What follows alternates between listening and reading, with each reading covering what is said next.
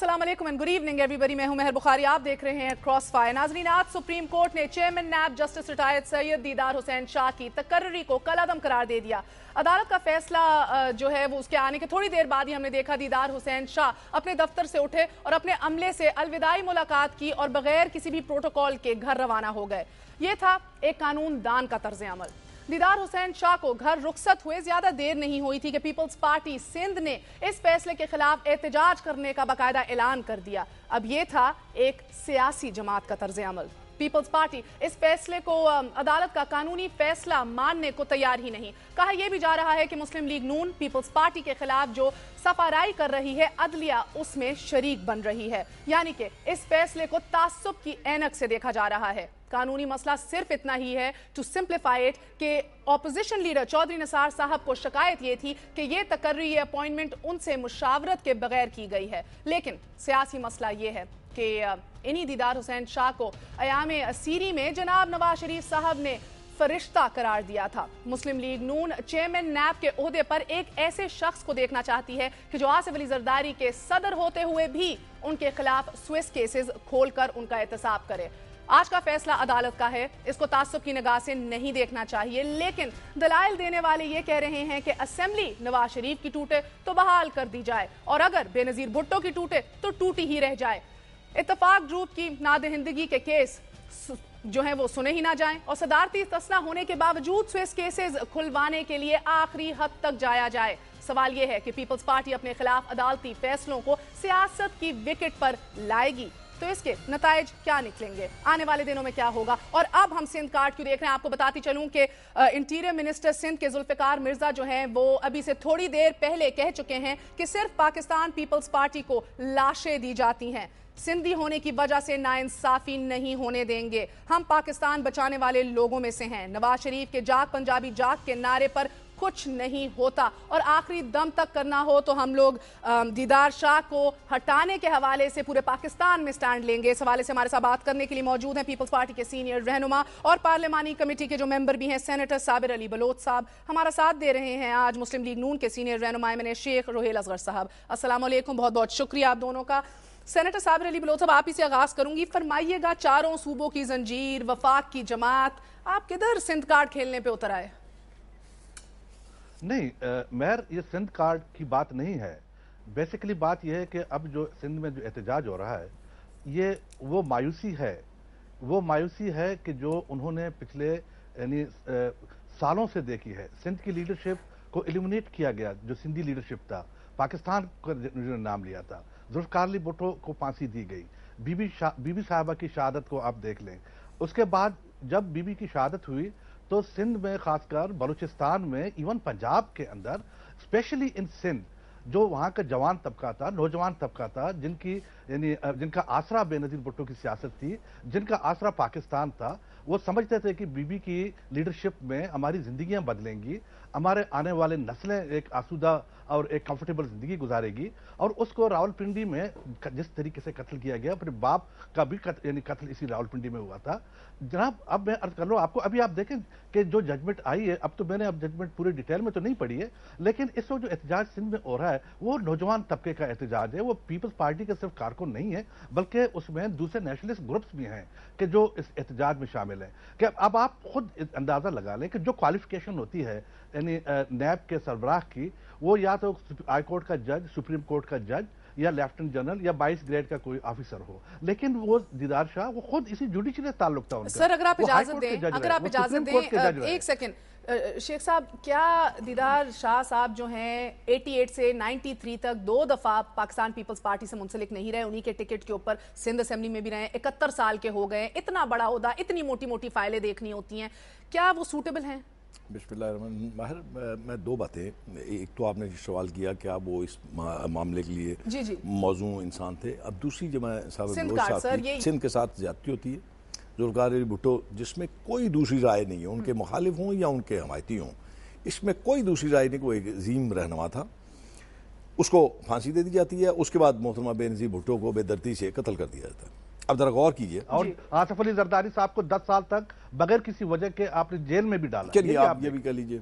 आप ये, ये सब मायूसियाँ हैं मेरे भाई। इनको, आप तो, इनको भी जाँच जी। तीसरी बात तो आप इसको पसे पुछ छोड़ दीजिए क्योंकि आसफ दारी जब जुल्फ़ार अली भुट्टो की बात होगी या बेनज़ीर भुट्टो की बात होगी तो जरदारी वहाँ कहीं नहीं आपको नज़र आएँगे। उतने बड़े कद हैं वो आप इनकी पहले बात कर लीजिए। नहीं उनका भी कद बड़ा है चलिए कद बड़ा जी उनका जी सात फुट कद है चलिए मान लेते हैं सात फुट कद है जी उनका।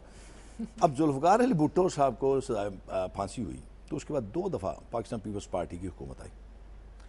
अब उसके बाद ये कितना अलमिया है कि आप दो अदवार में आप उस मामले को आवाम की नज़रों में ला नहीं सके कि ये क्या वाक़ था क्यों हुआ ये हम्म।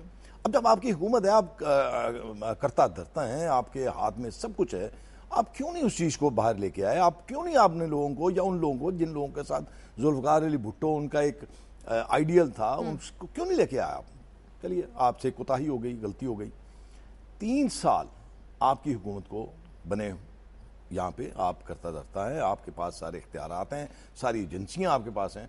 जिस मोहतरमा बेनजीर भुट्टो की जात की वजह से ये लोग वोट लेते हैं आज तक आप उनके कातलों को ढूंढ ना सके ओके। तो ये आप किस किस्म की बातें करते ये पूछ लेते हैं।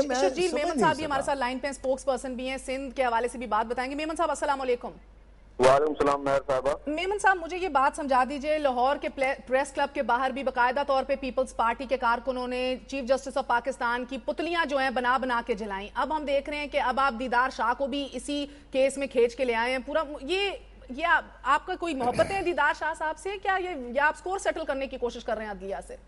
Thank you mayor. अब मैं सबसे पहले तो ये इजाज़त मांगूँगा कि जो मैं बात करूँ उसमें कोई इंटरप्शन ना हो प्लीज़ सबसे पहली बात ये कि ये सिर्फ़ दीदार शाह साहब का इशू नहीं है। इशू हम तब से इसको गिन रहे हैं कि जब शहीद जुल्फकार अली भुट्टो को यही अदलिया फांसी की सजा सुनाती है और उसी को फांसी की सजा सुनाने वाले जस्टिस नसीम शाह साहब जो है वो खुद मानते हैं कि ये हमसे गलती हुई और हमने किसी प्रेशर में किया। और वही अदलिया मियाँ नवाज़ शरीफ साहब को जो से बचा लेती है बिल्कुल।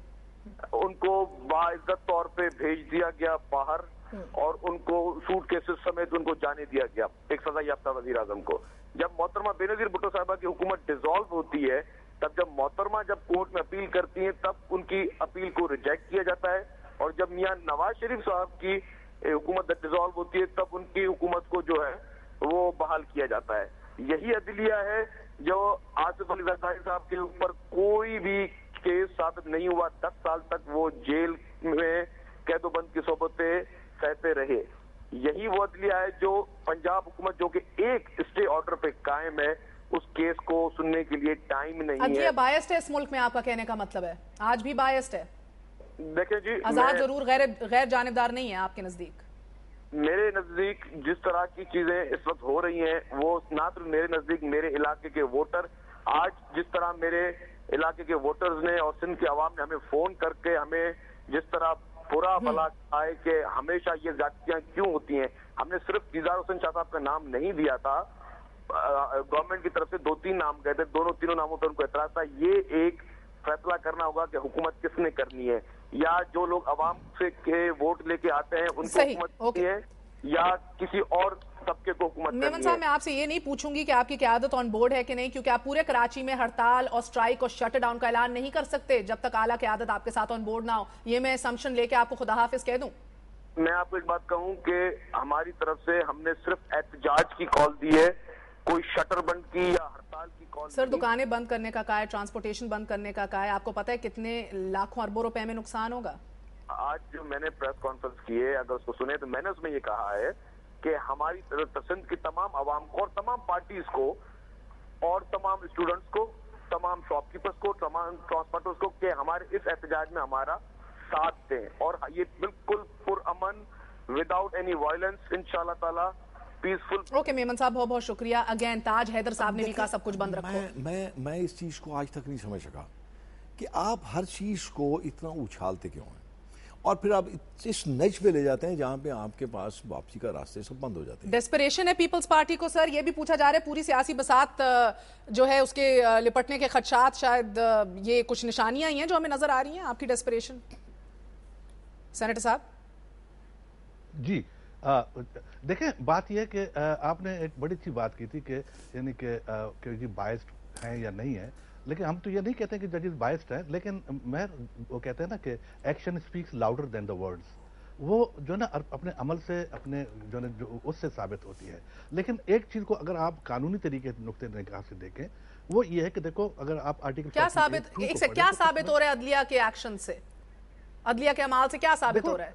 दो टोकल पास में ये साबित आप पास को देखें आप पास को देखें। नहीं नहीं आप मुझे हाल ही की बात बता दें क्या साबित हो रहा है सर? नहीं देखो ना वही तो जिस आस्किंग यू मैं खुद इस बात पे हैरान हूँ कि देखें क्वालिफिकेशन की जो ज़रूरत है वो वो एक जज है। वो वो, वो उन्हीं के रैंक से उसका ताल्लुक है। वो खुद सुप्रीम कोर्ट का जज रहा है, वो हाई कोर्ट का चीफ जस्टिस रहा है। अच्छा और दूसरी बात यह कि ज़रूरी है कि कोई ऐसा शक मैं जुडिशियल पर खुदाना करता, कोई तनकीद नहीं करता, सुप्रीम कोर्ट पर कोई तनकीद नहीं करता, मैंने अभी तक जजमेंट पूरी पड़ी भी नहीं है। लेकिन ये एक जनरल सी बात मैं कह रहा हूँ कि देखो, मुल्क के जो आलात हैं, मुल्क में जो, जिस तरीके से जो सिंध में, बलूचिस्तान में जो एक नेगेटिव और एक जो ना मुल्क के खिलाफ जो एक सिलसिला है तो बहुत बातें ऐसी सोच समझ के करनी चाहिए। क्या किसी सिंधी जज को शख्स को वो वो वो हक नहीं है कि वो आके जो ना वो अकाउंटेबिलिटी अच्छा अब फिर इजाज़त दीजिए। लेफ्टिनेंट जनरल यहाँ पे रहे हैं यहाँ पे दूसरे जजेस रहे हैं। अमल की बात अब मैं हैरान हूँ कि ये अमल देखिए दिदार शाह का अमल देखिए। किस बात पे पहले दिन से वो मतनाजा। सेनेटर साहब हाँ जी।